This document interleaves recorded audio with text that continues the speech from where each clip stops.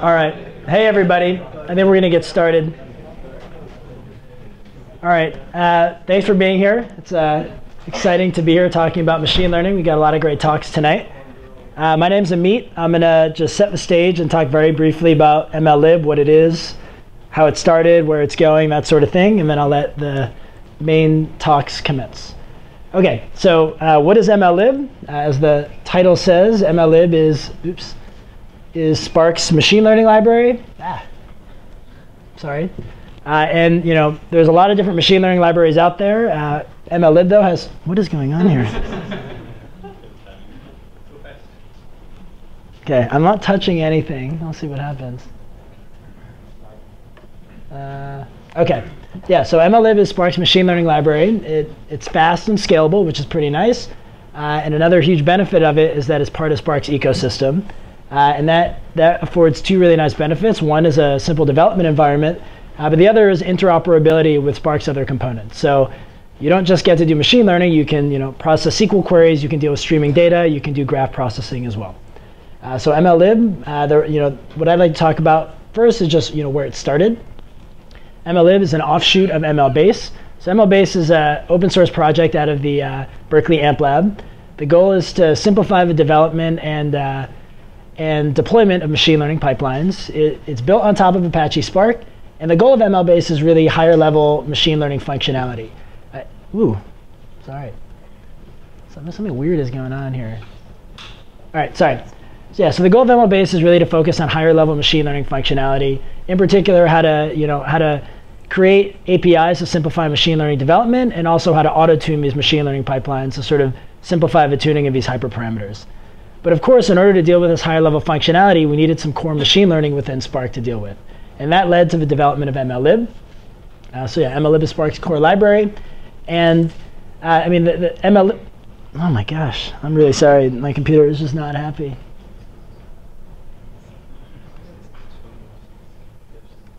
I don't, I don't know what's going on. Okay, sorry.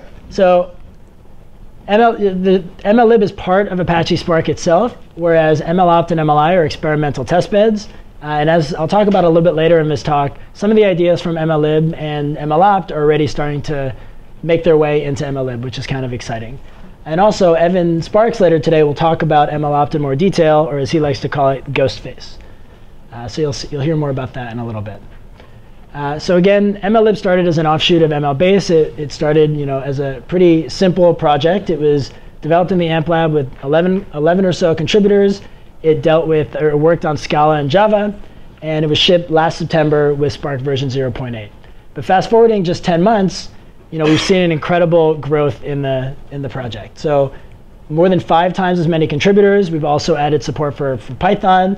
Uh, and you know, there's a lot, a lot of new functionality in, in the most recent release, version 1.0, as I'll talk about. So, you know, when we started, the algorithms that we supported were basic algorithms for classification, regression, collaborative filtering, clustering, as well as an underlying optimization primitives, uh, gradient descent, to power the classification and regression algorithms. Moving forward to version 1.0, we've added a bunch of new uh, different algorithms and also added you know, various ways of doing dimensionality reduction.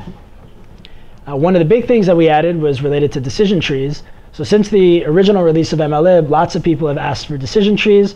They're a very standard uh, algorithm used in practice. They're interpretable. They work very well, especially ensembles of them work very well in practice. Uh, so you know, we added a, a, scalable implementation in MLlib that works both for classification and regression. And Manish later on tonight will be telling you about this in more detail. So what else is new in the most recent release?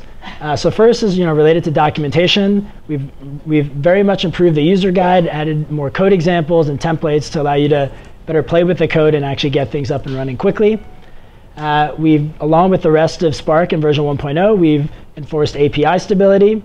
Uh, and we've also borrowed some ideas from MLBase and from you know, MLI in particular, so related to sparse data support, which is you know, super important given that data is often very sparse. We've also added a notion of local and distributed matrices, so higher level objects that make it easier to reason about machine learning algorithms. And so, you know, what's new in the, in the next release? Well, uh, Spark is on three-month release cycles, and the cutoff for new features for the next release is actually tomorrow, uh, July 31st. And you know, we have some exciting things that we're adding in, in the next release. So the first is a statistical toolbox to do you know standard things you might want to do exploring your data. Uh, we are also adding new learning algorithms, including non-negative matrix factorization and uh, multi-class support for decision trees. Uh, another really exciting uh, addition is combining Spark streaming with MLlib to allow for online updating of models. And this is in the form of logistic regression for now, but there's plans to, to add more later. Uh, we're also adding some, you know, we also added some optimizations, and here by optimizations, I don't mean that in the mathematical sense, I, just, I mean in the performance sense. Uh, so, you know, one is determining automatically whether to broadcast large weight vectors or not. Uh, new, an improved uh, communication for ALS, which leads to faster performance. You can check out the Databricks blog for, for results there. Uh, we've also added a bunch of other things as well. One thing I'll highlight is the uh, Python API for decision trees. We also might be adding, it's not clear whether or not this will make it in yet, but some notions from MLI related to you know, higher level interfaces, as well as multi-model training, which again, Evan will talk about later today. All right, uh, so beyond 1.1, what, you know, what can you expect out of, uh, out of MLlib?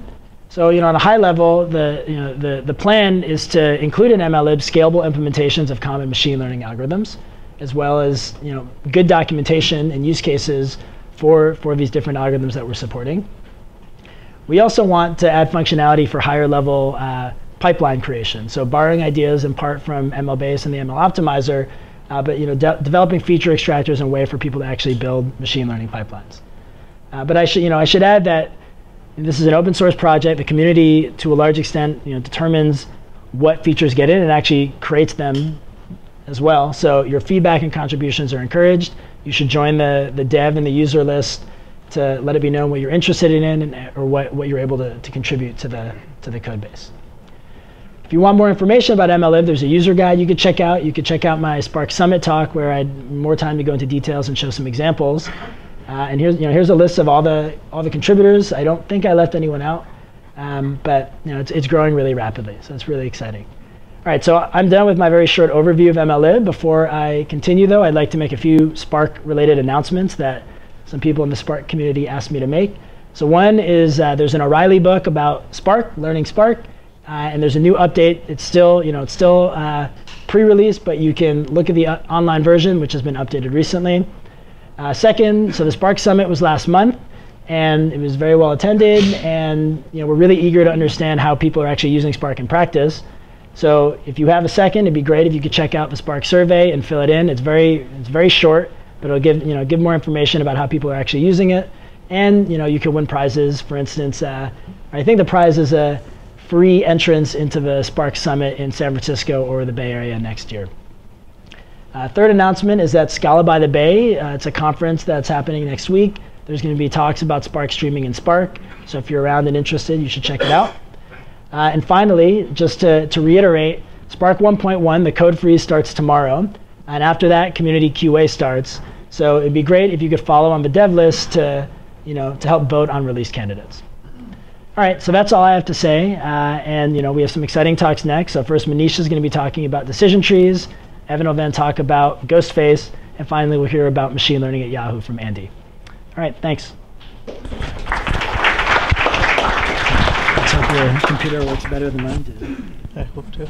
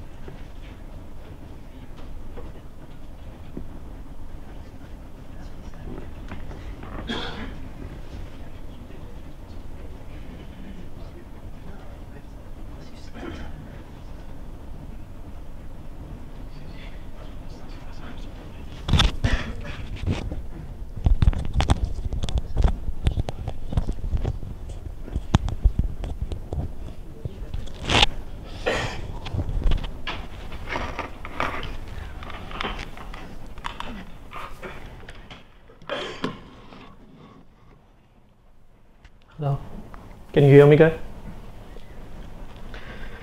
Okay, so I'm going to be speaking about scalable distributed decision trees in the Spark MLlib library. Um, before doing that, I would like to thank Yahoo for hosting us. It's an amazing venue, good food and beer. Uh, also, this is joint work done with uh, Hirakendu Das, who's right next to me over here, Evan Sparks, who's speaking right after me, and Ameet Talwalkar, who just spoke before me. The key takeaway is feel free to trouble these guys with decision tree questions instead of me. Uh, a brief background about me I got my PhD in electrical and computer engineering from UC San Diego in 2009. I'm currently solving data science problems at Origami Logic. Uh, we are an exciting young startup. We just launched our search based marketing intelligence platform a few months ago. We work with global brands on large unstructured marketing data sets. And we're using Sparks for heavy lifting on the analytics backend. Here's the brief overview of the talk. Uh, I'll first start with a very simple decision tree 101. We'll then discuss distributed decision tree implementation in the Spark MLlib library. We'll talk about experimental results on distributed data sets. Um, we'll also speak about how these trees can be used as building blocks for ensemble algorithms, which are very popular in practice, such as boosting and random forests. And finally, we'll speak about the direction of the future work. So imagine if we were given a binary classification problem uh, for this toy data set, which has two features. First feature is horsepower, which is a continuous feature, and the second one is weight, which is a categorical feature. And our task was to pr predict mileage, which is again a categorical feature that takes two values, low and high. In order to construct a decision tree, we would first start with the input data set which had four high labels and two low labels and a set of splitting conditions or what we call as split candidates. These are all the unique feature values for every feature. Upon selecting a split, we will end up dividing the data set into two. So if we select if weight equals high as a splitting condition, we end up dividing the data set on the left side which meets the splitting criteria with two high labels and no low label and on the right side we get two high and two low labels. So what we have done by selecting this split is we are trying to reduce the variability in the children nodes and in decision tree jargon this is called maximizing information gain. We also see that there is no information gain possible on the left hand side since there are no low labels left and we always predict high mileage in this scenario. On the right hand side we still have work to do since there are equal distribution of low and high labels. So we perform the same procedure on the right hand side and we eventually come up with a mileage classification tree that looks like this. If weight is high, we predict high mileage. If not, we look at horsepower. And if horsepower is less than equal to 86, we predict high mileage, else we predict low mileage. So what we saw is a very simple decision tree implementation. However, they are fairly complex in practice. So why are they popular? First and foremost, they are easier to implement, uh, interpret uh, compared to other machine learning algorithms. They can handle categorical variables. They are suitable for both classification and regression tasks. They do not, they do not require feature scaling. They can capture nonlinearities and feature interactions. They can also handle missing values in your data set. And finally, ensembles of decision trees such as boosting a random forest work very well in practice. So, so let's discuss the decision distributed implementation in the MLlib library. But before doing that, we'll take a look at a single machine implementation. In a single machine implementation, typically the dataset is loaded in memory as a matrix or a data frame. And then we perform several passes of the over the data to find the best split. I can hear you in the back. Okay. Is this better? Sorry about that. Change it out. No, no, thank you. Sorry about that. I didn't mean to interrupt.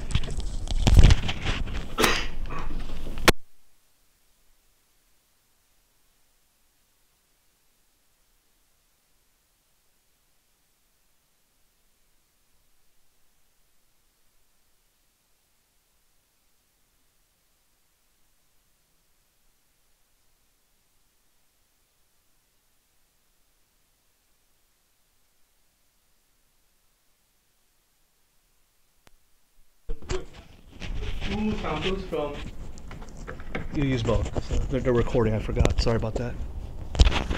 Sorry for the interruption. All right, there we go. Okay. Imagine two samples from our data set were distributed on each of the two ma- three machines. So how do we construct a decision tree in this scenario? Well, the first thought comes to mind is one could learn a separate decision tree on each of these machines and combine them using the single machine implementation. However, if you notice closely, in this scenario, there are only low labels on the first and third machine and high labels on the second machine. Of course, it's an extreme case, but you can see that it does not work for all data partitioning. And also, we still need to do inter machine communication to combine these models. So, we wanted to do a truly distributed implementation. And we first read the Planet paper, which is the paper from Google about creating distributed decision trees using MapReduce. However, it's not open source. We then turned to Hadoop MapReduce. However, we didn't find many mature implementations when we started about 12 months ago. Currently, there is R Hadoop, Mahout, 0xdata, and a few more. Finally, we wanted to create decision trees on top of Spark since it's designed for iterative machine learning. However, there was no tree support in the initial versions, as Ameet pointed out. And secondly, we felt that we can extend the Planet implementation with several optimizations of our own, and that's the motivation for our work. So in order to do a distributed implementation, we had to make one approximation. If you've seen in the toy example, we used every unique value for a, for a continuous feature as a split candidate. However, it is costly to do that in a distributed setting. Secondly, sorted splits are desirable for fast computation. Again, this would require a distributed sort over the data set. Finally, high cardinality of splits, that is, too many splits per feature, would lead to significant computation and communication overhead. So we ended up using approximate quantiles instead of all unique feature values for our implementation. This is a standard trade-off to get significant improvement in training time without much loss in accuracy, and it's also been done in the Planet paper. Our first implementation was a MapReduce implementation, where in the map operation or the flat map in Spark terminology, we take an instance and we emit out a list of split label combinations for all the splitting criteria that have been met. After the shuffle on the on the reduce or the reduce by key in operation, we take a split and the list of corresponding labels and we calculate the label histograms for that split. Let's use an example to understand this better. Imagine if we had a single instance with horsepower 76, weight as high and as mileage as low, we would end up emitting six split label combinations. The first split is obvious weight equals high. The second split is horsepower less than equals to 76, all the way to horsepower less than equals to 95.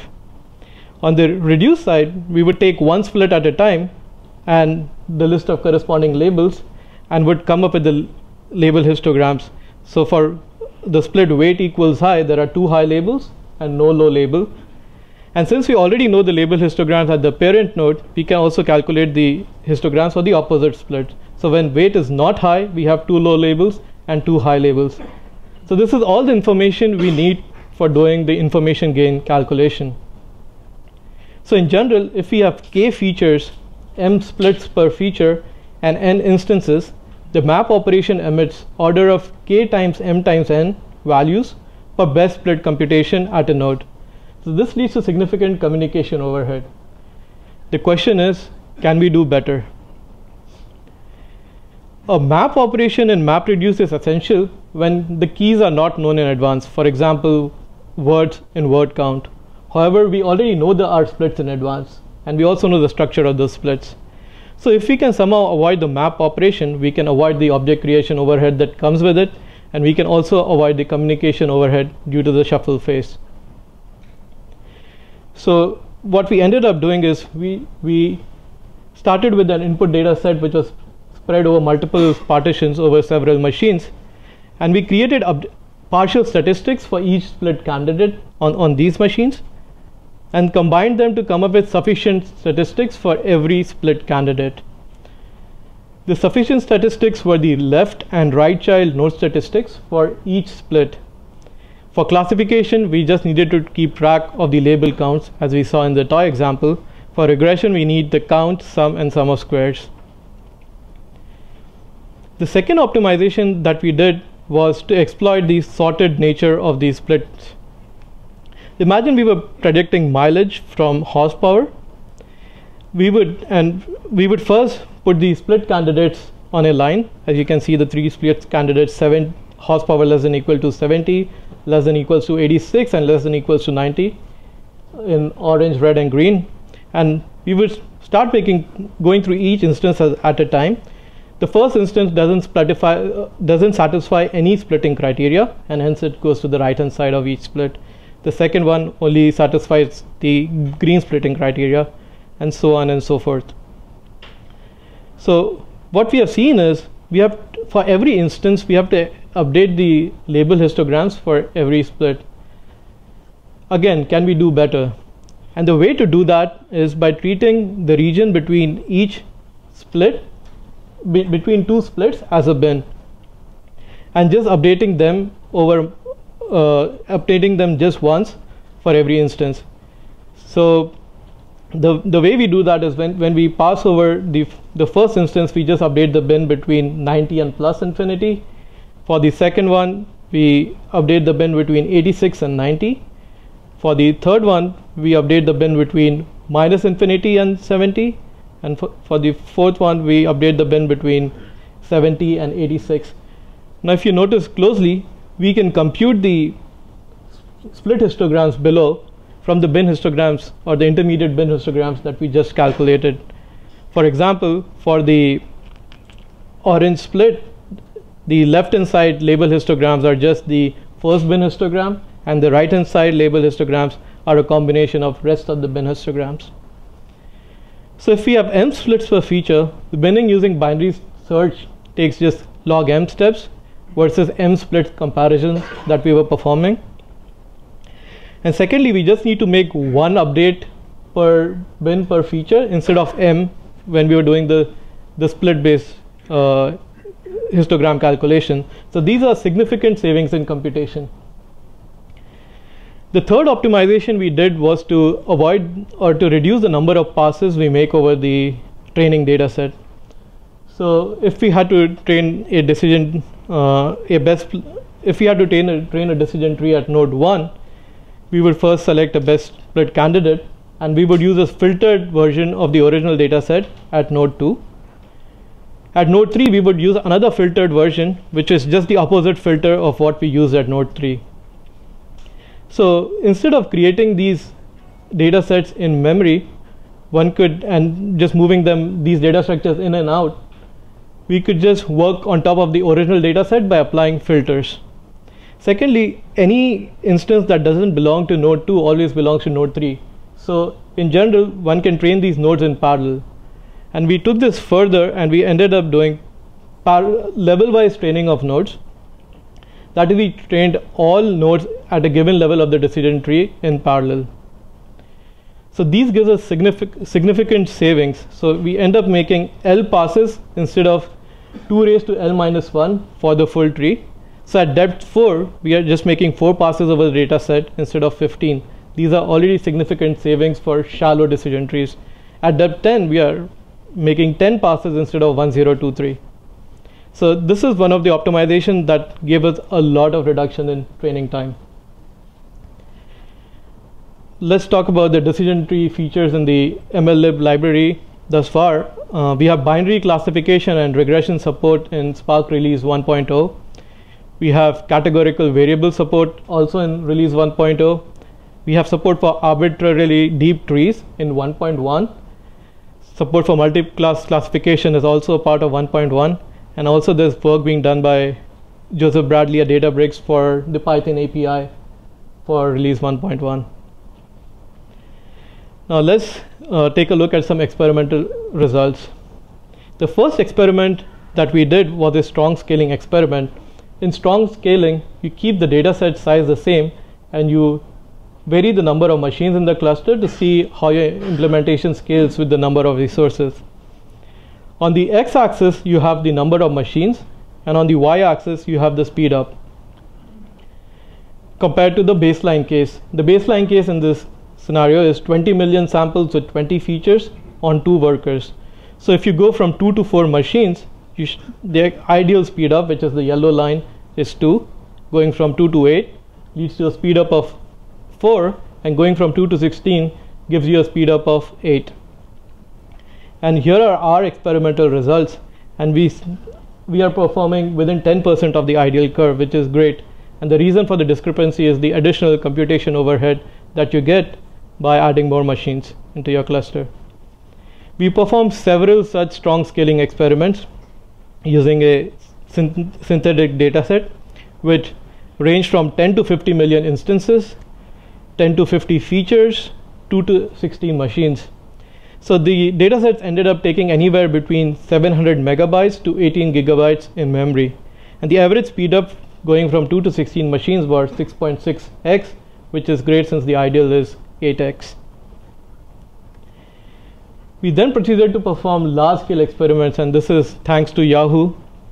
Uh, Hirakendu performed these experiments on a classification problem on half a billion instances with 20 features. So this ended up taking a 90 gigabytes of shared distributed memory. On the x-axis, you have the number of machines, which range from 30 to 600. And on the y-axis, you have the training time in seconds. The yellow line corresponds to a tree of depth 3, the blue line to a tree of depth 5, and the purple line to a tree of depth 10 the first insight was yes, the algorithm scales to really large data sets. We also noticed that deep trees require much more computation as expected compared to shallow trees. Uh, there are two reasons for that. First is you need to train more levels at uh, more nodes at a given level as you keep going deeper into a tree. And secondly, you have to apply more filtering criteria. And the third thing is we observe a very interesting computation versus communication trade-off. So pay a close attention to the yellow line on the curve. If we see, notice carefully at the the training time while going from increased slightly when going from 100 to 150 machines. And this was due to the fact that as we kept adding more machines, the computation overhead went down, but the communication overhead started kicking in. And as we added more machines, the training time kept increasing slightly. Uh, we don't observe this phenomena for a tree of depth 10, but we conjecture that if we kept adding more machines into the cluster, even beyond 600, we would have seen this uh, at some point.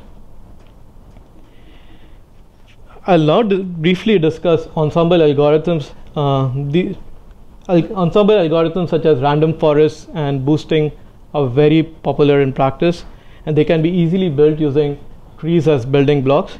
There are two main families of algorithms. The first is boosting, such as AdaBoost and gradient boosting, which are sequential in nature, a random forest, where one can actually do a parallelly, embarrassingly parallel computation. So AdaBoost is the classic boosting algorithm where which which is originally developed for classification where you're learning a new tree model every iteration and you reweight these weights for each of these instances based upon an error calculation. And the AdaBoost was very simple to implement. Uh, it's, it's just 15 lines of code. Uh, I just don't want to get into the details, but there are two main uh, parts. Here we are training a new tree every iteration, and here we are just reweighting the samples. Gradient boosting is similar. Instead of reweighting um, the samples we actually relabel. So we calculate a new label for each instance or new value for each, each instance based upon a pseudo res residual calculation. It's a very popular algorithm for regression tasks and can support pluggable loss functions. So here are some optimizations that we are thinking about uh, for the boosting implementations. As you keep going through the iterations, you end up with a long linear chain for the RDDs. And what we have seen in some ex experiments that we are conducting right now is if you checkpoint every n iterations, and this n ideal n number we haven't figured out yet, you you lead you get a drastic improvement in training time. Now let's move on to random forest. In random forest, you start with a input training data stored as an RDD, and you come up with n bootstrap samples, where n is the number of trees in your data set. Then you uh, train uh, decision trees on each of these data sets with a slight twist. Instead of using all splits, you use a random subset of splits for best split calculation at every node. And then you use all these models to come up with a joint prediction on top of the data. So the first thing we wanted to do was we wanted to avoid creating these bootstrap uh, samples in memory uh, since it could lead to a huge overhead in cluster memory. So what we did is we applied a transformation to come up with a tree weighted RDD where each instance of that RDD has an additional field which stores the number of occurrences of each sample in every tree. This is a standard optimization called Poisson resampling and it's also been used in other places such as BlinkDB for bootstrap based calculations. The other optimization that we think will give us a huge benefit is level wise training for all the trees at the same time. So instead of performing L passes over the data set, instead of performing number of trees times 2 raised to L minus 1 passes over the data set, we'll end up just doing L passes over the data set. So we expect a lot of benefit coming from this optimization. Finally, let's talk about the direction of the future work. The ensemble algorithms are being worked at. We are in the uh, close to finishing some of the implementations and also testing some of them and should be a part of release 1.2. Feature importances would be great to have for all the tree algorithms. Decision tree visualizations would also be cool to have. And finally, we want to test over a wide variety of data sets, so this is ongoing work. And here is the request from the community. Please take a look at the MLlib documentation if you haven't. It's, I think it's fairly well written. You can easily get started by training decision trees or other MLlib algorithms on uh, just reading the user guide. Please test drive, test drive it over your own uh, data sets send us data sets of any shape or form, whether you have short and wide data sets, whether you have tall data sets. Uh, we have made some design choices while creating the algorithms, but uh, we want to make sure it covers most of the user's needs. And finally, send us any feature requests that you have or uh, any bugs that you have to report. Thank you.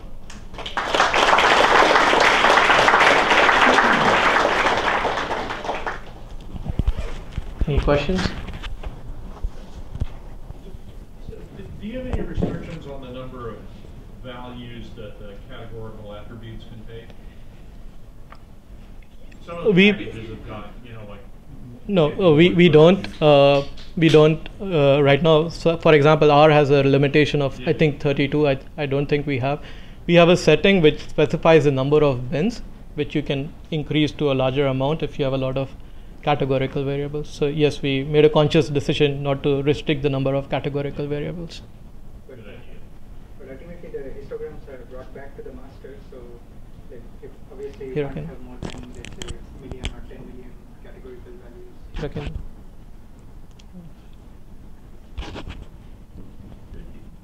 Sure. You kind of, you have a little bit different problem if you've got a multi-class problem though, right, with regard to the, with regard to the number of categories. Yeah, okay. So part of it's because you've got the binary, Right. the, that's for the class, yeah, okay, okay. What is your cluster management system? Um, What is your cluster management system? Yeah, the cluster management system. I think Evan and Hirakendu can speak better, but I think the first experiment, the the strong scaling experiments were done on a standalone cluster, Yeah, Spark standalone cluster. and the Yahoo experiments were done The on. large scale data experiment done at Yahoo that was on a yarn cluster.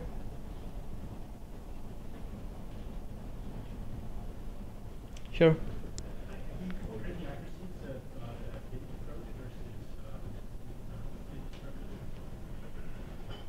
Uh, I don't. is, uh, when you say winning, is it for the continuous features or for the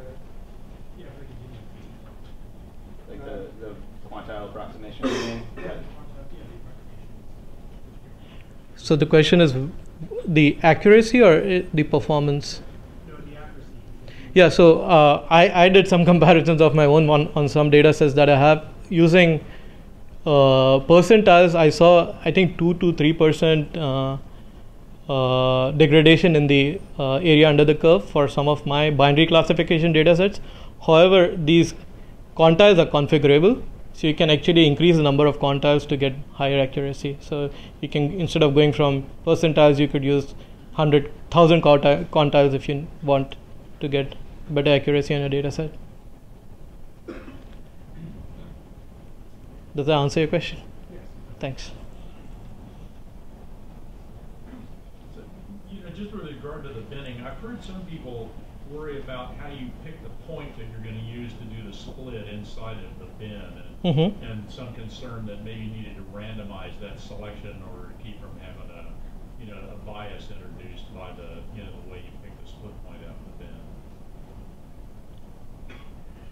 the bin. Um, short answer is we haven't. yeah, yeah, yeah. It'd be good to talk about later Yeah, if I- yeah, yeah. uh, we haven't thought about this before. Yeah.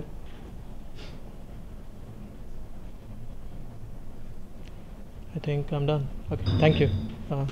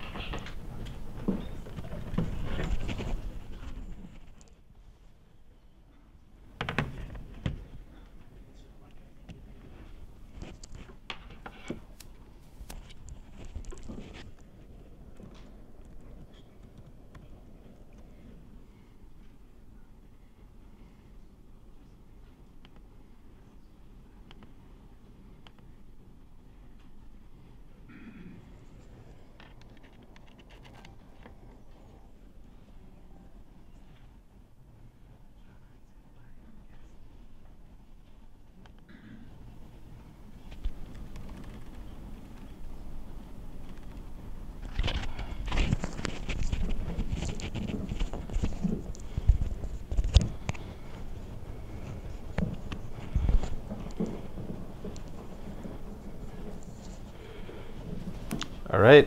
Uh, can everybody hear me okay? Better? Good? No? Okay, good.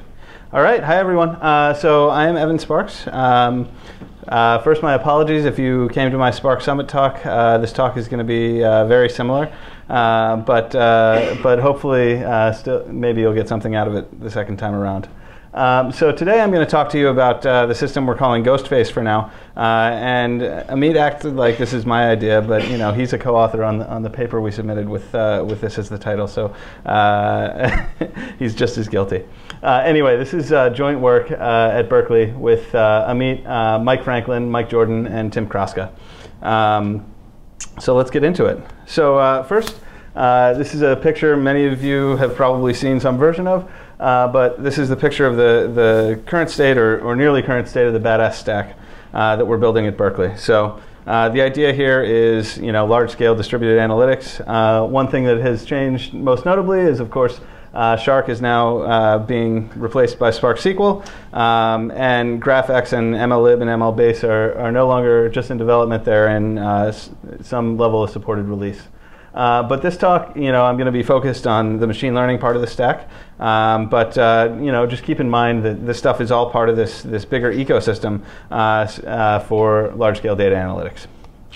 So, uh, what is MLBase? So, MLBase is a project we've been working on for the last couple of years, designed to make distributed machine learning easier. Uh, so, easier both for developers, people developing new algorithms who want their code to run uh, quickly and efficiently on a cluster, um, and maybe not have to worry so much about cluster management and software configurations and so on, but also and also not necessarily to have to think so hard about exactly how, how to make their alg- algorithms distribute.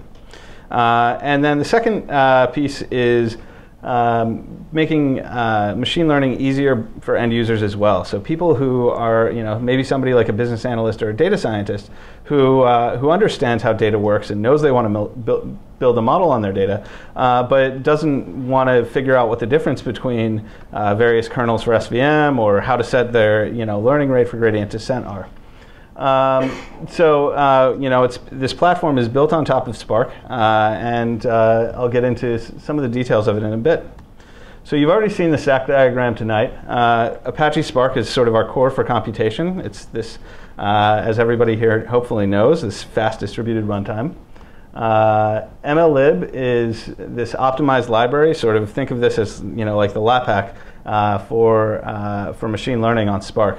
So optimized library of standard machine learning functionality. So all the you know sort of regression uh, algorithms and classification algorithms that you're used to seeing in other packages, um, but built to run efficiently on the cluster.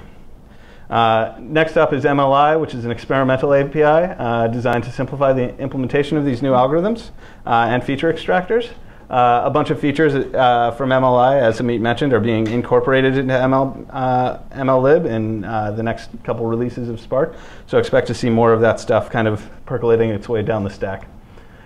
And most of what I'm going to talk to about tonight is the ML optimizer. So this is uh, designed to be a, a declarative layer uh, simplified, to simplify access to large-scale machine learning for end users. So uh, we certainly want some help uh, on you know adding new algorithms to MLlib, uh, writing documentation, testing, throwing new data sets at us, et cetera. Uh, that's that's all great stuff um, from the, that we've gotten terrific feedback on from the community. Uh, but in this talk, I'm going to talk about some of the sort of crazy research ideas that are happening uh, at the top of the stack with MLOpt. So what do we mean uh, when we're talking about building machine learning mo models? So let's, let's start with a simple machine learning pipeline. So you say, okay, I've got, I've got some data. It's sitting in a database or you know, distributed in HDFS. And now I'm going to run some feature extraction on it. And then I might train some model. And out comes this model thing that I can use to make predictions on my data. And that's, that sounds awesome. And this is you know, sort of the standard textbook process you might follow. But in reality, this, uh, this process is, is sort of a highly iterative one from, you know, from an end user's perspective. Somebody who's developing new models doesn't usually get to do this thing end to end in one go and have it work the first time. Usually there are loops, so you might have to go back, uh, go back to your data source and figure out, oh, I need to incorporate uh, this extra information about my user. Uh, you might have to do fancier feature extraction. So if you're just doing text, maybe you started with n-grams and you want to do TF-IDF. Uh, model training, you might have to iterate a few times between, um, you know, SVM versus uh, versus decision trees versus logistic regression. You might have to try different things there, and even once you've decided on a particular model family, try a bunch of different settings for for the parameters for these things. Uh, and so uh, our grand vision here is to is to automate the construction of these pipelines, um, eh, you know, end to end. So start from data and get get me a model.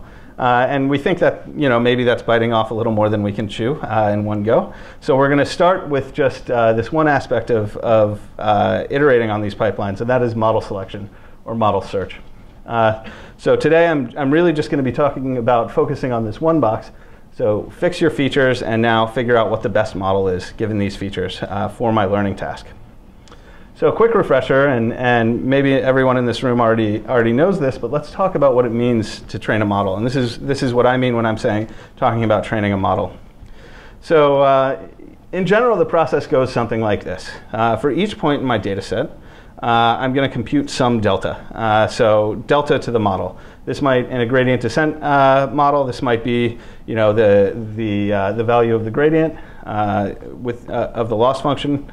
Um, and I'm going to repeat that into uh, convergence. For different kinds of models, this delta might be something different. So for decision trees, it might be deltas to the, the histograms that Manish was talking about just a minute ago. For naive Bayes, it might be uh, updating my probabilities. Uh, but from a systems perspective, this all basically looks the same. I'm taking you know, iterative passes uh, over my data, uh, sequential scans of my data sets, ho hopefully in parallel. Uh, and so just to give you an idea, you know, we're, we're thinking, you know, in terms of what's training one model. Well, we're talking about probably minutes, even on, you know, a modestly sized cl cluster to train a 200 uh, model on a 200 gigabyte data set. So this is, you know, if you're, this is basically the fastest that your memory and CPU can can tolerate when you're when you're really uh, saturating the cores. So that, that's pretty good. You know, 200 gigabyte data sets are pretty big. Uh, but we see more and more of those coming around. And if that's the time to train one model, uh, it, it can take a very long time to train lots of models. And so the tricky part here is to say, you know, there are there isn't just one family of model that we have to worry about training. There are lots of different models. So we know, you know, just in MLlib we have logistic regression, we've got SVMs, we've got tree-based models, and several others. Uh, each of these models also has several hyperparameters. So they've got a, a learning rate or a regularization or some per perturbations. You might have the width of the bins in the histograms or uh, which uh, impurity metric you want to use when, when computing your decision tree. And so this, this prevents this space of hyperparameters and algorithms that you've got to optimize over. Uh, in addition, you, you might have this additional layer of featureization. Uh, you know, for text, I mentioned n-grams and TF-IDF. There are other types of features you might want to compute on your data. Um, but you know, again, for this talk, we're really just going to talk about this algorithm and hyperparameter plane, and hopefully later, uh, in later research, we can get to this featureization thing as well as part of the same search space. So one approach, uh, if you want to try out a bunch of different models and figure out what, what are the settings that gives me kind of a, a really good thing that I can use uh, you know, again and again, one approach might be something like trying it all. So a common approach that people use in practice is, is grid search. So if I have a very simple hyperparameter space, which is just two, two dimensions, a learning rate and a regularization parameter, both continuous values, I, you know, I chunk up these continuous values over, the, over some grid. Uh, and I try, and, and, maybe my best answer is somewhere near a grid point down there on, the, on this space. And I'm going to try uh, training a model uh, with the setting up in that corner. And then I'm going to try training another model with the setting in that corner. And I'm going to look at something like the cross-validated error or something like that to see, uh, to see how good my model actually is. And I'm going to keep doing this. And you can kind of see the nested for loops in your head, right? And finally, you, you fill up the grid. Uh, and you know, after a bunch of evaluations, maybe you pick the one that's somewhere close to that best answer. Uh, but again, each of these red dots is, you know, on a decent sized data set, is maybe minutes to compute. Uh, and, the, and the curse of dimensionality gets us very quickly as we start to add more parameters here. So the volume of this hypercube grows and grows uh, exponentially. Um, but people often do some version of this in practice when they're trying to figure out, okay, what model should I actually run uh, in production? And so I'm going to talk tonight about what we think is, is sort of a better approach. Uh, and we're going to combine three optimizations uh, in this distributed setting uh, to see if we can get to a best answer very quickly on very large data sets, uh, or much quicker than, than this sort of conventional approach. So the three, uh, the three ideas are better resource utilization through batching. So instead of tra training one, one point at a time, if I know I'm going to be training lots of models, maybe I can train multiple at once in parallel. I'm going to do some algorithmic speedups. So instead of training all of these points all the way to completion, if things aren't looking very good, I can uh, maybe I can uh, stop some of them early and, and allocate my resources elsewhere. And I'm going to do some better search. So instead of exploring this whole grid in sort of this nested for loop fashion, I can maybe uh, get to a, a, good answer quicker by, by using a, you know, some kind of search technique. Uh, so I'll dive into each of these optimizations in a little bit more detail now. So first is this, this idea of better resource utilization through batching. So the key insight here is that modern memory speeds are often much slower than, than processor speeds. So uh, on, in modern memory, I can read something like uh, four, four or five gigs a second per core. Uh, that's, that equates to like half a billion doubles uh, read from, from in binary from my, from my memory. Uh, but the, a lot of these, uh, these cores can do something like 15 billion blocks per, uh, flops per second per core. So this is something called machine imbalance, and this is something highlighted uh, by folks over the years. Uh, the Stream benchmark is, is, is a benchmark that's been tracking this on supercomputers since the late 70s and has been looking at this idea for, for desktops more recently. But basically, you know, you've got this imbalance between the amount of computation we can do and the amount of uh, data we can read from memory. So what does this actually mean for modeling? So a typical model update in the context of one of these gradient comp computations or tree computations uh, requires something like two or four flops per double that we read from memory. So uh, in my gradient computation, I might have to take the dot product with the existing weight vector and do some, some addition, uh, something like that. So the, the computation requirements are actually pretty modest for one of these model updates. Um, but that means that we can do something like 7 to 10 model updates in the same amount of time we can do one just by using sort of otherwise idle cycles uh, on the processor. And so this is assuming that, that models themselves are relatively small and fit in cache, and I'm not thrashing the model back and forth out of memory. Um, but uh, nevertheless, this means that I can train mul multiple models simultaneously. If I'm in this context where I know I'm going to I'm gonna be training multiple models at once anyway, this is, this is highly valuable. So what do we, we see when we actually implement this in MLI? And so the, the table here to focus on is the, is the, is the lower one here. Uh, and we, what we did here was uh, vary both the complexity of the model, so you know anywhere from 100 to 10,000 features, and the, uh, the number of models that we trained in parallel. And this is on uh, 16 machines. And what we see is uh, you know anywhere from you know uh, you know 1.5 1.15x speed up for the most complicated models, all the way up to a 5x speed up for uh, for simpler models. So that's pretty good. Uh, and there's some overheads here due to boxing and unboxing and, and Scala and, and all that. Uh, but that's pretty good, especially for the, the sort of simpler models. Uh, but we decided that this wasn't quite getting us to where we wanted to, or we weren't quite getting to that theoretical limit of 7 to 10x that we were hoping for. Uh, and so we, we implemented this in, in a slightly different way where we leverage BLAS and we realized that you know, this, this problem for, for a lot of these gradient models comes down to matrix-matrix multiply. And so matrix-matrix multiply is something that's been optimized uh, like crazy for the last 30 years. And so we just call into the, the right library, and our speedup numbers go from you know, the sort of modest 1.15x to 5x in the most uh, complicated case, uh, all the way up to 7x in, in some other cases. So this is pretty exciting, actually. By, by leveraging these you know, well-tuned, well-studied libraries, we can get close to sort of our theoretical limit. There's still some stuff to do here, uh, but we think we can get, uh, we can continue to make these a little bit faster. So that's it for sort of the, the insight of, of maybe we can train multiple models in parallel, uh, you know, using, the, using these idle cycles. The second piece is, uh, is algorithmic speedups. So uh, the insight here is, is realizing that a lot of these machine learning algorithms are really uh, iterative in nature.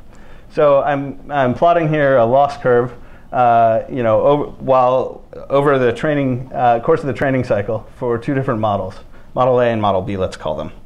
And we can see, you know, you and I, as humans, we can see that, that the model on the, in red uh, gets to much better loss much more quickly than the model in blue. Uh, and we could, we could validate this during model training time pretty easily.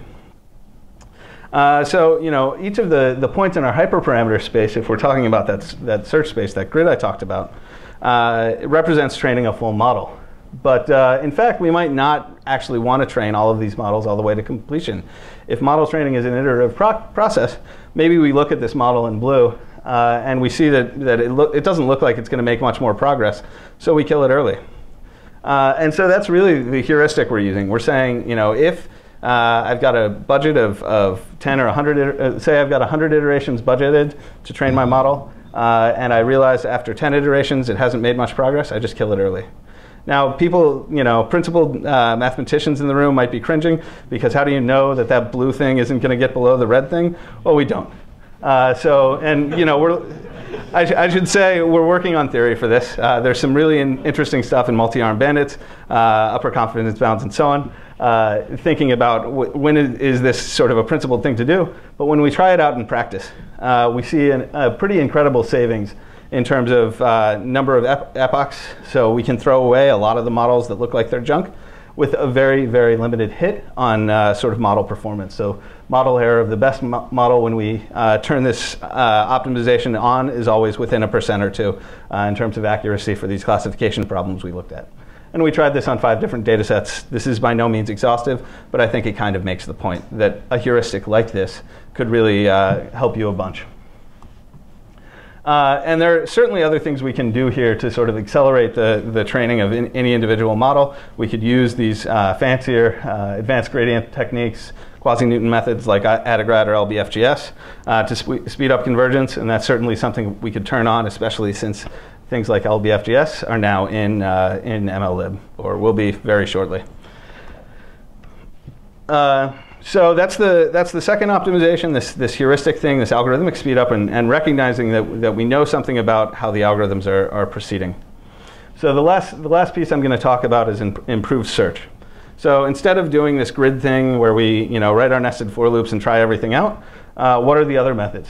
So it turns out that uh, there's this, uh, this, this long history of something called derivative-free optimization. So we've got this big, weird search space. We don't know the form of the function that, that uh, this thing is taking, but we can sample points from it. And so how do we find a global maximum or minimum uh, given, given this setup? Uh, and so it turns out that there are a bunch of these, these techniques. Uh, and forgive me, the, the chart is a little bit difficult to read. Uh, but, uh, but basically, we have we evaluated, uh, I guess, six different or seven different search techniques. some dating back to the 60s and 70s. Nelder-Mead and Powell's method are these derivative-free opti numerical optimization techniques. Um, we also tried grid search and random search. And uh, what we did was we, we tried these seven methods on, on again, five different data sets. And we, we looked at you know, how well they did, how well they get to a good, good error when they try searching over these spaces. Uh, and so, uh, you know, two of the more recent methods, or three of the more recent methods, are Spearmint, SMAC, and TPE. These are things that are very recently published at, at NIPS, uh, just in the last couple years. Uh, and uh, this is sort of the auto-tuning ML community. Um, and what we see, what we want to see in this graph is uh, red bars that are low. Okay, so that means fewest function calls we get to a good answer. And so what we end up seeing, surprisingly, is that uh, is that random search works amazingly well, shockingly well, uh, which is not, you know, my advisor said, oh, that means you've got research to do. Uh, but, uh, but it turns out that, that uh, SMAC and TPE actually work slightly better than random search, as, as we would expect them to. Uh, the, the more classical methods are sort of not, uh, uh, not well suited to this problem because they assume unconstrained parameter spaces. They also don't make any assumptions about having categorical var variables or conditional variables in your search spaces. So we didn't really expect those to do well, but we wanted to check them out. Um, so anyway, uh, we went ahead and implemented this at scale, and we put it all together on top of Spark.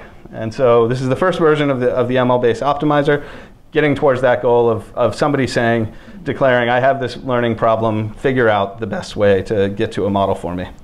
Uh, and so, you know, we tried it on sort of a, a medium scale data set, I guess, 30 gigs of, of dense image features, uh, 240K by 16K learning problem we did binary classification on this, and we considered two model families. Uh, so uh, logistic regression and SVM, we're actually working on adding some more models families to that right now, uh, and more hyperparameters to tune. Uh, but the bottom line is that with, you know, sort of regardless of the search method you use, you're probably, uh, you know, the, in terms of raw clock time, it doesn't really matter. You're going to take 40 hours to try 128 different models on these things if we turn on the early stopping and the uh, and the um, uh, sorry the uh, if we turn on the early stopping technique and the batching technique, uh, we see a reduction uh, anywhere from 10 to 20x in terms of total clock, clock time. And we actually see, uh, you know, turning on these, these optimizations and trying it all out, we get a significant reduction in the amount of time that we take to actually get to a good model. And so that's, that's sort of the, the whole punchline is we want to be able to do that much faster. And so we then uh, tried this out on a much larger data set. So 1.5 terabyte data set, 128 nodes, uh, literally you know, thousands of passes over the data. Uh, and we were able to train 32 models to completion in 15 hours and get a, a pretty decent model in 11 hours. Uh, this probably would have taken close to a week or longer uh, if we had done sort of the traditional naive approach with grid search. So this is getting to something that works in sort of human time. Maybe you kick it off overnight and you check the results in the morning. I'm hoping that we can get this down to the point that you can try it out on your lunch break. Uh, maybe we won't get to the point where we can do it in a couple minutes, but who knows? Uh, Moore's law is, is good for that, or more money. Uh, so, um, so next I just want to touch briefly on sort of this, this uh, this concept of, of moving this to real world pipeline. So we have we've sort of talked about how we're going to fix the features uh, in, in feature extraction and we're going to try this model training process over and over again. But what does it mean to sort of uh, to uh, train uh, and, and do model search on a much more complicated pipeline and automatically tune a pipeline? So a real world pipeline might look something more like this. It's a lot more complicated, uh, and this is a, a real pipeline from, uh, for image classification based on uh, uh Coates and Ng. Uh, we've got this uh, coded up in the lab and actually a nice DSL for putting these things together that you can look for coming out in the next few months, released to open source but it's, it's this complicated thing, right? You, you start with your raw data, you might have to parse the images, you do some normalization, maybe you estimate some patches that you want to convolve your images with, you do the convolution, you do some rectification and pooling and, and so on and so on. And then at test time, even, even the test pipeline is, is kind of complicated. Uh, and it turns out that you know, there are hyperparameters to tune here. So in red, I've kind of highlighted the boxes that have lots of hyperparameters to tune. Um, you know, this whole how do I, you know, which what kind of pooling do I do? How do I convolve my images, etc. These are all uh, you know hyperparameters for this big search space I'm talking about. Uh, so what we're working on is, you know, how do we take this stuff that we've done for model search on, on, you know, a handful of hyperparameters and scale it up to something that's more like this? And what kind of gains do we get by searching over this space, you know, more efficiently, more effectively? Uh, so, so that's that's what's going on now, and I'm afraid I don't have any res results to report yet. But you know, wait a couple months. Hopefully, we'll get there.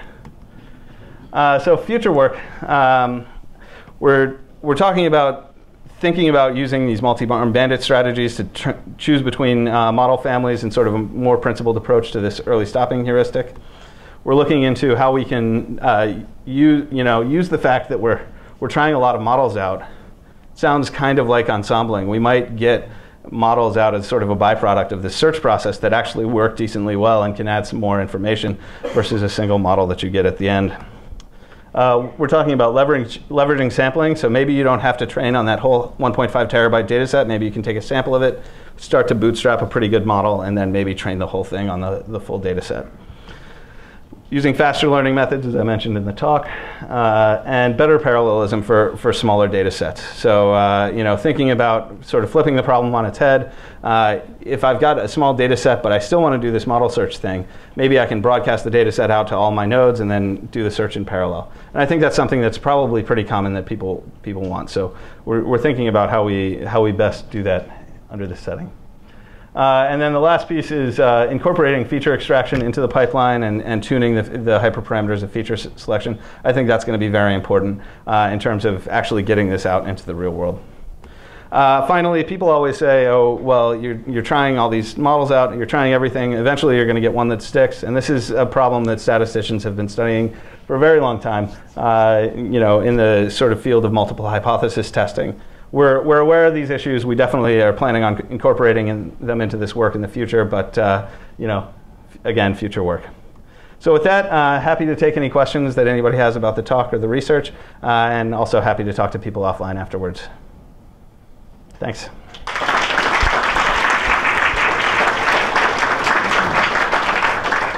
Yeah, in the back.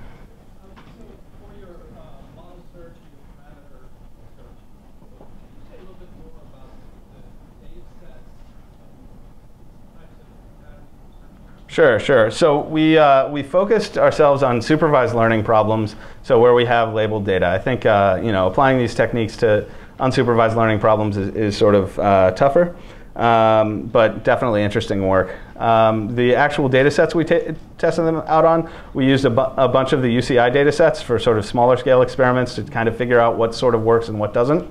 Uh, and then at the larger scale, so far we're, we're focused on uh, image classification uh, kind of data set. So we took uh, features extracted by sort of standard feature extractors and image, uh, image processing, and then ran our, our search over those. Uh, mostly that was because of a lack of lots of large scale data sets. So if, if people have large scale data sets they want to make available to the academic community, please do.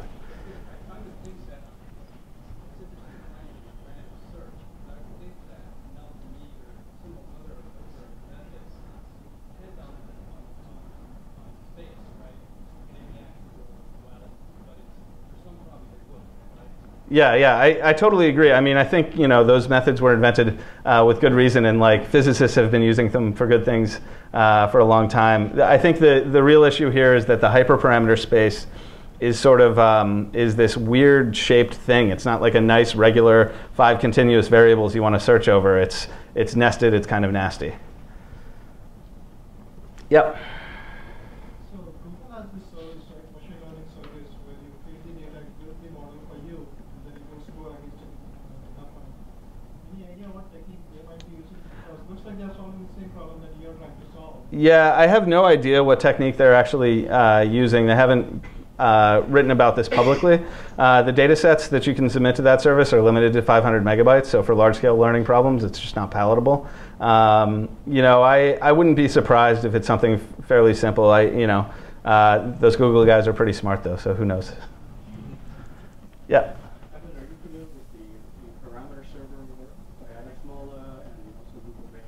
Yeah, are Yeah, so the parameter server work is uh, by Alex Smola et al. is is uh, kind of based on this idea that you may have a very very large model, uh, and this comes up a lot in convolutional neural networks where you're estimating models that may have billions of parameters. And so shipping those models around in their entirety is not really feasible, and oftentimes you're making updates to very small sections of them. Uh, so I think it makes a lot of sense. I mean, I, I could see a uh, anytime uh, you know, the next MLlib algorithm that comes out that has a model that's that's too big even to broadcast. That's where I, the first place I would think to put a parameter server. Um, it's yeah, it's, it's definitely interesting work, but a little bit orthogonal to this model search thing. What I mean is there, there's interesting concept there about trade-off communication. Yeah. Okay. Yeah, I should I should look at it more through that lens. That's that's interesting. Thanks. Yep. Yeah, I'm a little bit surprised that your uh, in the experiment actually performs so. Do you have any insider explanation why it's happening? And uh, So yeah, we it, we're still uh, we're still working with the the authors of Spearmint to kind of figure out what that is.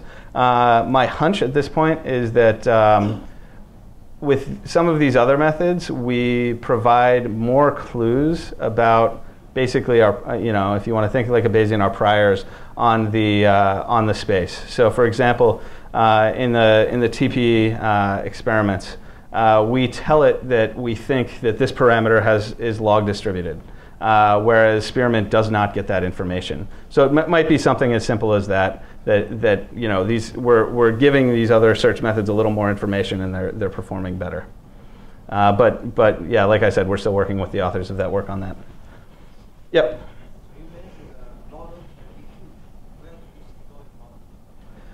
So the the huge models we are generally seen in, uh, like I said, these convolutional neural nets. Uh, the biggest models we see in MLlib uh, are sort of the intermediate state maybe you see when you're doing uh, random forest or something like that. For the most part, these are small enough to fit uh, comfortably in, in memory, even on the driver. So we're not so worried about model st- storage just yet. But as we wor- start working toward these really big models, I think that's going to be an issue. You assume your model is fixed. Yeah, we assume that our models are relatively small, can certainly fit in memory on one machine, basically, at this point. Are fixed? Uh, yeah, no, the models are, not, are, are themselves not fixed. You know, they, they can update via, and in Spark 1.1, there's going to be some work on uh, updating models with Spark streaming. So that's, you know, computing deltas. Does that make sense? Okay. Good.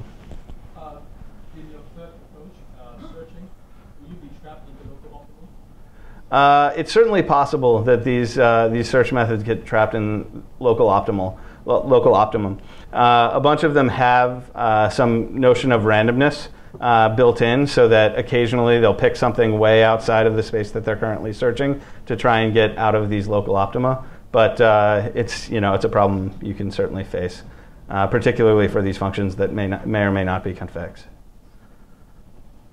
All right, that's it. I think uh, I'm going to hand it over. Uh, if you have any more questions, please come talk to me offline.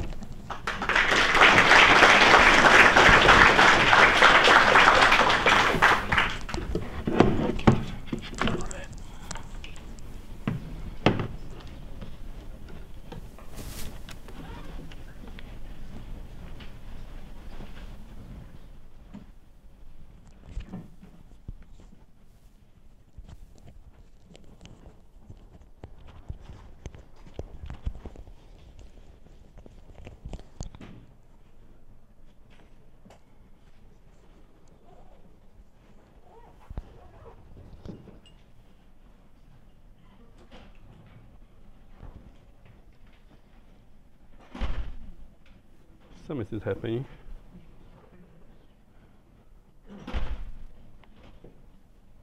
What? Microsoft?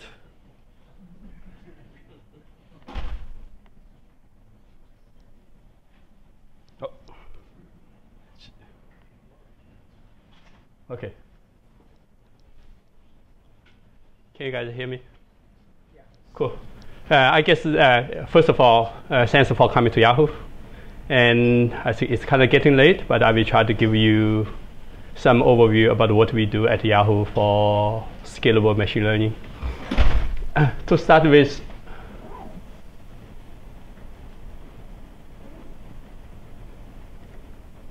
the tools look like.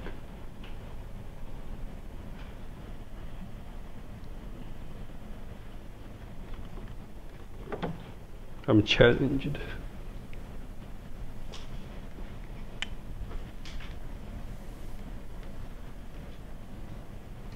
Gee.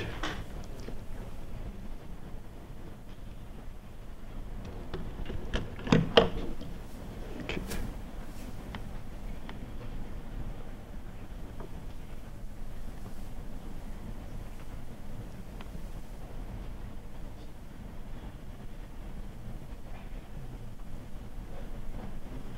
Okay. Uh, so the uh, uh, to start with, let me just introduce myself. And uh, my name is Andy Feng. I'm an architect at Yahoo or big data team. At Yahoo, what I'm we are working on like the big data platform like Hadoop, those things. And on the other hand, also spend recently spend huge majority percentage of my time on the machine learning stuff.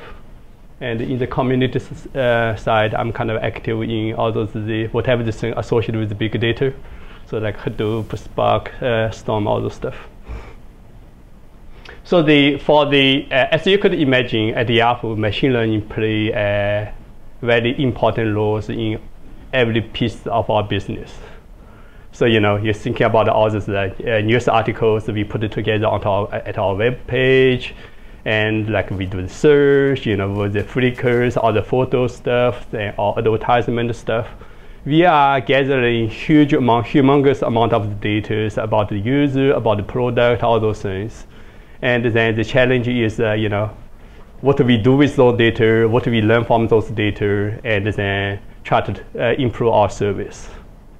So here is some examples. So the, uh, the Flickr is our uh, uh, image service and that provide uh, like there was a one terabyte uh, free storage for all the pictures, the videos you guys you, you have. And until recently, also the image search on the Flickr is very basic, like you know, based on the users the tag you give to us. So that as a result, let's say at that point, if you do the Songbird search, that's what you're going to see on the left. And recently, we added the uh, some of the deep le learning, those the other uh, you know uh, scalable machine learning on it. As a result, now what you see is the much better result for all users, right?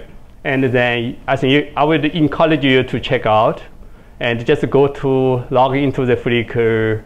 Just asking you, I would say encourage you to search your pictures. Do a search, type some keywords, say just select instead of look at everybody else's pictures, just select your pictures. You will be surprised, even so you did not give us the tag, we found those things for you. Right? So that's the one of the I think interesting use case for the machine learning. Certainly we have other use cases such like search, like all the whole page, logically the whole page is based on machine learning. I will explain a little bit uh, more uh, uh later. Let's say they have, some advertisement stuff, there's the content stuff, you know, all the pieces are based on machine learning. So from the Yahoo point of view, I think we see a bunch of different challenges from machine learning. One is the scale and another is the speed. And the scale kind of less is just the nature of the Yahoo business. So we, you know, we, when we try to do the machine learning, so we had, you know, try to deal with like hundreds of millions of tra uh, training examples. And then many of those cases we, you know, try to deal with millions of the features. Right? Then you it's not like just we train you know small number of the models. We you know train tens of thousands of models, and then again just like Evan's talk, you know, they have all different algorithms we need to try. So we have a bunch of the you know uh, a dozen algorithms actually inside the in-house, and also we working with the uh, you know open source communities on those uh, new al- algorithms. As that what you heard the uh, Manish's talk that has the collaboration with our, you know, uh, scientists, uh, Hirakendu, those guys, right? So again, you could see, you know, it's really, so we feel a lot of challenge from the scaling side. The other side is the speed. So over the years, Yahoo has developed a bunch of the machine learning libraries. And some of the library are kind of simple. Some of them are trying to be very fancy. But you could imagine because of the nature of all you know, data size, all those complexities, some of those machine learning just takes a long time.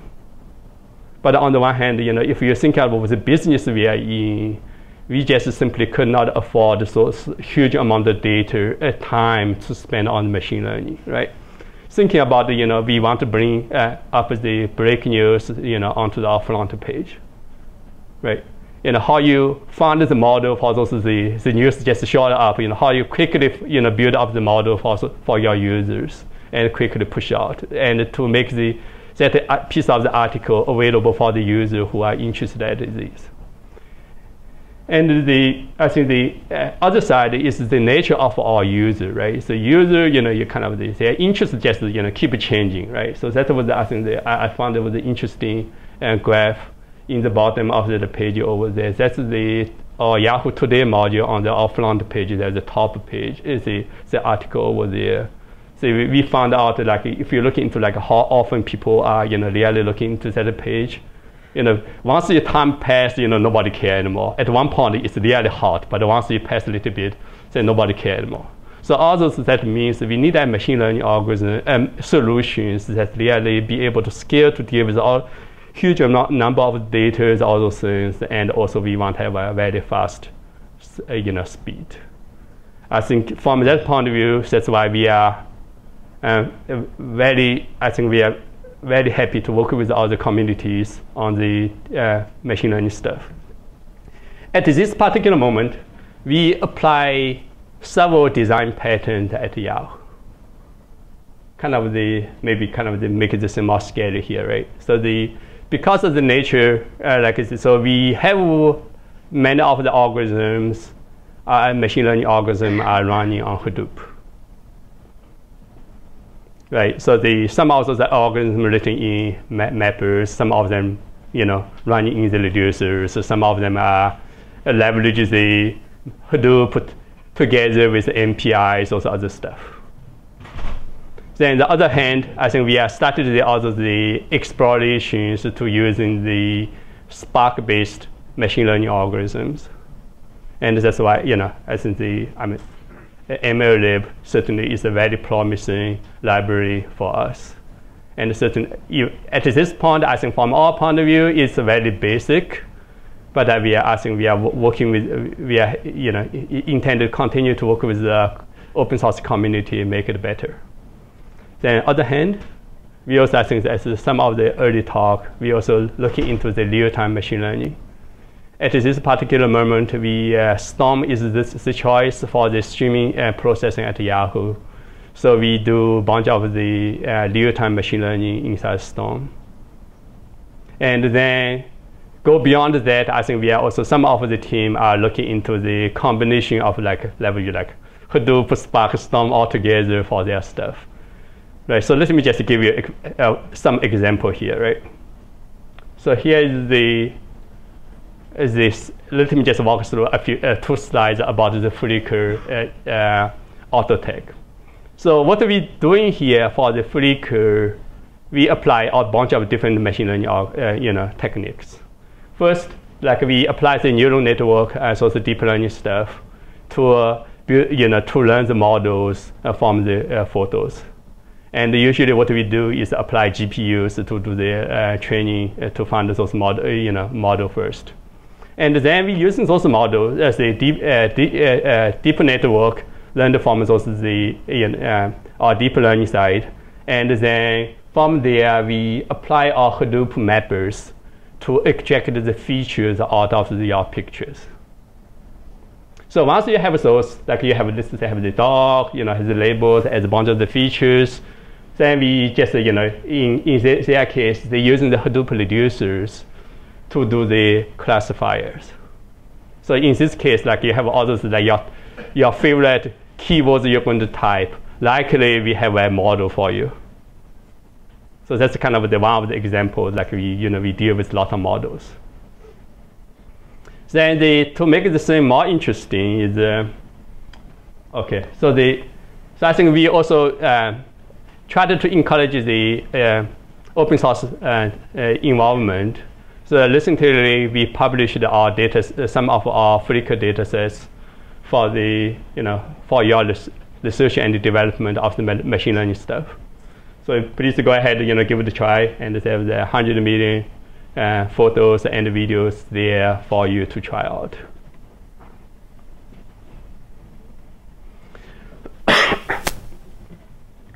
then if you then uh, in most of, uh, at the batch side, I said, you know, many users are just lazy, do not want to provide tag. But on the one hand, you know, once we provide this tag to the user, user tend to react to it, right? So let's say we put your, your name or your friend's name in your picture, you're going to say, you know, it's, that's not him, it's me, right? So then the question is, is how you leverage those. As here, what we do is uh, uh, leverage the uh, storm for the uh, real-time learning stuff. So imagine, let's think about the process, right? You upload your pictures, so that the photo uploaders. We uploaded the things, we put, it into our database, then you know, we, we apply those things and say, okay, from the model we have uh, already trained, and then we from the pic, pixels in, and we find the features, then apply the models we have uh, trained from the batch side, and then we say, here's the tag we know. Then at that point, like you're going to say, you know, this is uh, this is right, this is wrong. Then we wanted to take those feedback. So that's why the real-time training on the storm uh, taken in, the, uh, in place we using those your feedback, we're going to update our models. Okay, so that's kind of the combinations of those like Hadoop, Storm, all those things for the different machine learning. Out of curiosity, how often do you update the neural net feature extractor? I'm not really sure, and I think they are. Uh, at this point, because the neural network models is uh, happening in their GPU, clusters. So I think the frequency is not that high. And that's why we have the real-time side, you know, helping us. The neural net side tends to stick around very well for quite a long time. The, the, the, the features of the network itself that are extracting tend to be very generic across the board. So oh, I see. Yeah. They do take a long time to train. Yeah. Yeah. Yeah, that's, that's, that's what I was saying.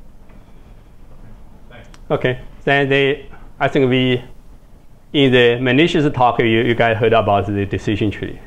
So let me show you the example of the Yahoo version of the decision tree.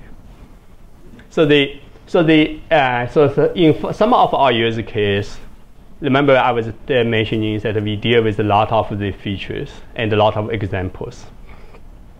In some of the use cases tend to happen is, you know, we, the number of the features are so large then we, instead of the, do the partition based, based on the training examples, we want to do the partition by the, uh, features.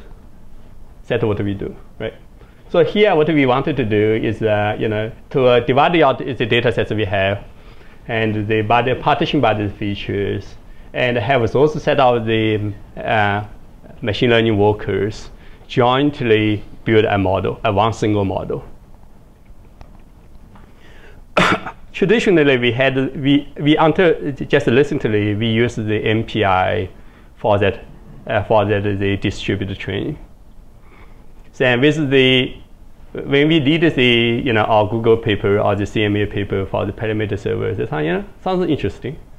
Then we say you know then you're looking into the CMU code, you know, eh, that's some you know some PhD guys code, and we better to do better job than that. So, so we say, okay, we will do, we will write some uh, uh, parameter server, and then we want to solve using that to solve the problem we have at hand. So as a result, what's really happening here is also the machine, uh, work, uh, the learners, they leverage all the uh, parameter servers to share the information. And the, our intention here is that with the introduction of these things, we want to enable the failures of the workers, be enable the asynchronous learning, all those stuff. At the end, we will have the you know models like decision tree models we have. And one other thing I think we learned from this uh, exercise last a few week, uh, a few week, is that the the details of the algorithm and the implementation matters.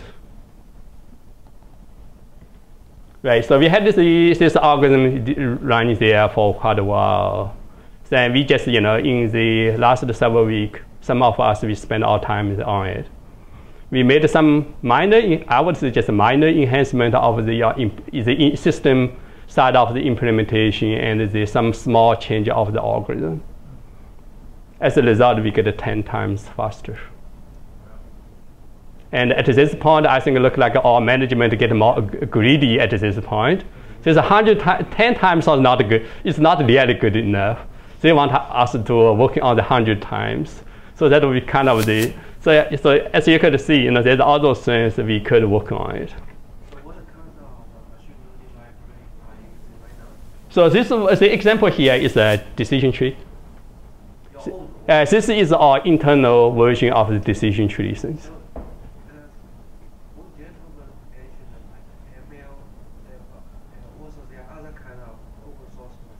Yep.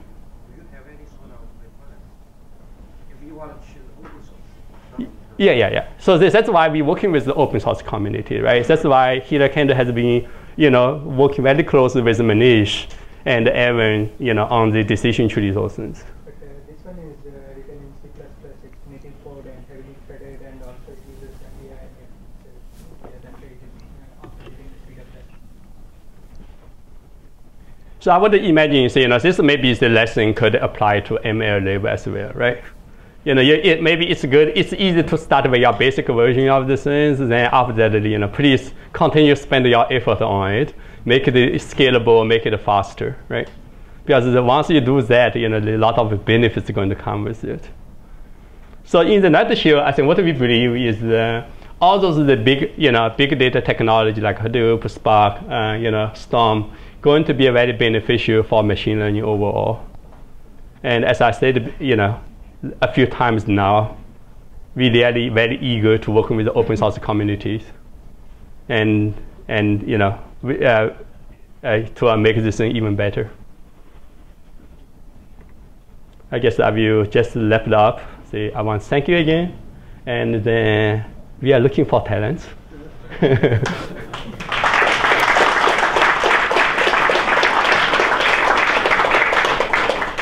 Any questions?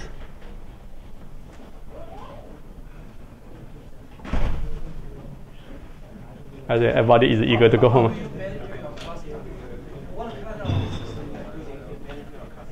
So we, uh, so the manner of our uh, thing here, we using Hadoop cluster. We in our Yarn cluster, we are running both the uh, uh, Spark job and Hadoop job. We do not use Mesos. We use Yarn.